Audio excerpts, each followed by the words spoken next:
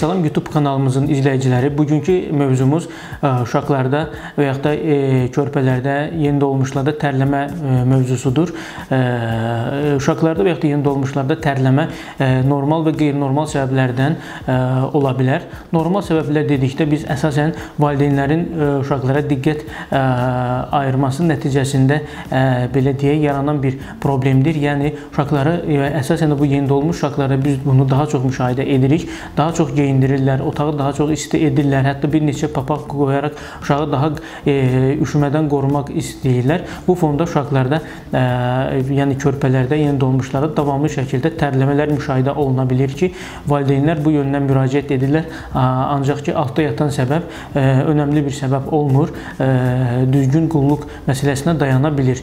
Qeyri-normal səbəblər e, dedikdə isə əsasən xəstəliklər fonunda uşaqlarda və yaxud da körpələrdə tərləmə müşahidə oluna bilər ki, məsəl üçün e, nəfəs yollarının infeksion və yaxud da allergik xəstəlikləri fonunda e, tərləmələr müşahidə oluna bilər. Bədəndə gedən tez-tez xəstələnmə, infeksion və ya viral xəstəliklər fonunda uşaqlarda zaman-zaman tərləmə müşahidə oluna bilər.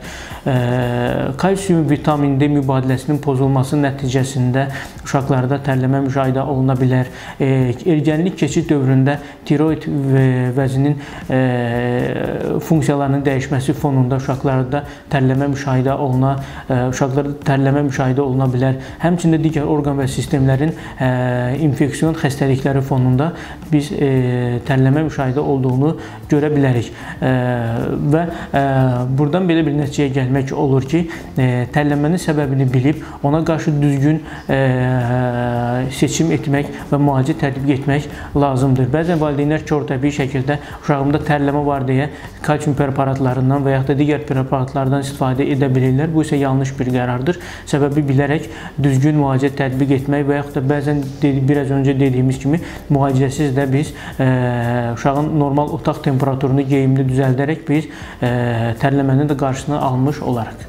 Diqqətinizə görə təşəkkür edirəm. Hər ə, mövzu ilə bağlı sualınız olarsa, ə, kanalımızın şərh bölməsinə sualınızı bildirə bilərsiniz.